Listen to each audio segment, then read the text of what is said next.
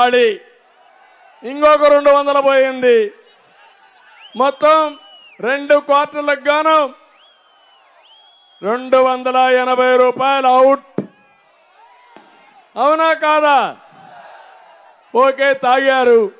అది ఏమైంది? మీకు అనారోగ్యం. అక్కడి నుంచి కిడ్నీ ఫెయిల్.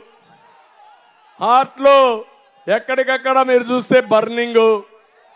సగం మీ ఆరోగ్యం పోయి మిగిలిన డబ్బు హాస్పిటల్ ఖర్చు.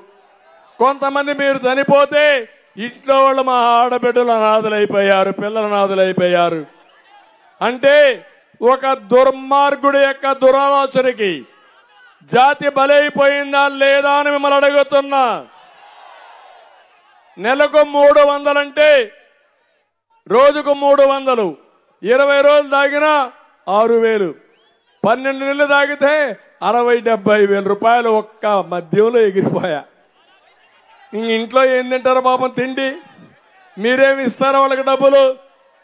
కావాలంటే మీకు చాలకపోతే వాళ్ళు కొట్టి వాళ్ళు చేసే కూలి డబ్బులు కూడా తీసుకుపోయి మద్యం అంగళ్ళలో తాకట్టు పెట్టేస్తున్నారు తమ్ముళ్ళు. అది జరిగేది ఈరోజు పరిస్థితి. నేను అడుగుతున్నా ఈరోజు ఏ షాపులైనా సరే ఆన్లైన్ పేమెంట్స్ ఉన్నాయా? ఇక్కడ చిన్న చిన్న షాపులు ఉన్నాయి తోపుడు బండ్లు ఉన్నాయి ఆన్లైన్ పేమెంట్స్ ఉన్నాయా లేదా? ఉన్నాయా లేదా? కొంతమంది టీ కొట్లో డబ్బులు తీసుకోవడంలా. వాళ్ళు ఒకటి ఈ డబ్బులు నేను ఎక్కడ లెక్కేసుకుని దానికి ఇంకొకటి కావాలి. మళ్ళా బ్యాంకుకు పోవాలి. నాకొద్దు. నీ ఫోన్ ఉంటే ఆన్లైన్ ఉంటే స్వాప్ చేయి. నాకు ట్రాన్స్ఫర్ చేయి.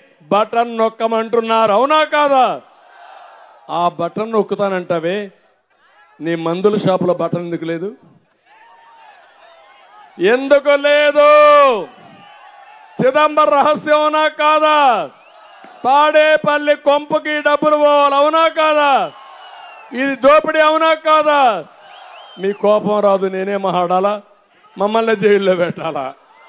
అంతే కదా? నేనేమంట నిలువు దోపిడీ ఈ రెండే కాదు. తమ్ముళ్ళు ఆర్టీసీ రేట్లు పెరిగాయా లేదా? పన్నులన్నీ పెంచారా లేదా? చెత్త మీద పన్నేసారా లేదా?